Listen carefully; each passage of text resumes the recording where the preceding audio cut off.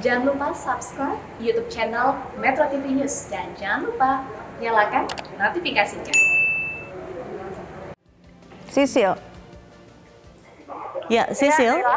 Iya, bisa Anda konfirmasi terakhir saya melihat uh, membaca sebuah rilis begitu ketika titik penyelaman pertama juga ditemukan tumpahan minyak. Bisa Anda konfirmasi terkait informasi tersebut? Ya, terkait dengan hal tersebut dikonfirmasi langsung Lela dan juga Widya dari Kapus Pen Mabes TNI Maijen Ahmad Riyad tadi pagi saat menyampaikan rilisnya sebelum keberangkatan dari Panglima TNI Marskal Hadi Cahyanto ke perairan Bali. Memang hal tersebut telah ditemukan atau cairan tersebut memang telah ditemukan sekitar 60 mil titiknya. Uh, ditemukan kemarin pagi sekitar pukul 7 oleh KRI RE Marta Dinata dan juga selain itu juga KRI RE Marta yang um, juga ikut melakukan proses pencarian sebenarnya juga menemukan adanya gerakan di bawah di bawah air dengan kekuatan 2,5 knot.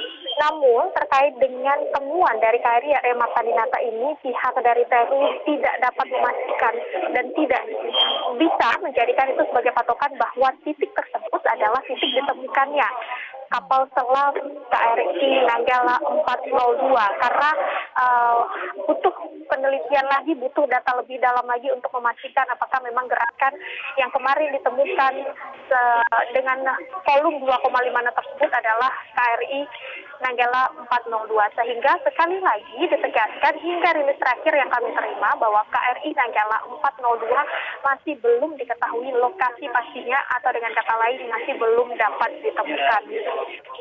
Namun jika kita melihat memang KRI Nanggala ini sebenarnya juga sudah memiliki kemampuan uh, oksigen cadangan sehingga diharapkan ini juga dapat menjadi oksigen cadangan bagi 53 ABK yang berada di dalam kapal saat ini. Baik.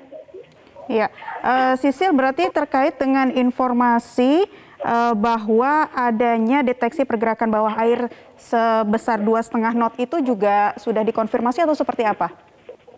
Iya, memang sudah dikonfirmasi Naila langsung oleh Kapten TNI uh, Maijen Ahmad Riyad bahwa KRI Remata Dinata melaporkan secara lisan mendeteksi adanya pergerakan di bawah air dengan kecepatan dua setengah knot. Ini disampaikan tadi pagi, namun laporan tersebut belum bisa dijadikan kesimpulan bahwa yang dideteksi adalah kapal selam karena masih membutuhkan uh, data lebih lanjut lagi, kemudian masih harus didalami lagi, dan tentu masih harus mengerahkan kapal-kapal lainnya untuk melihat langsung ke lokasi.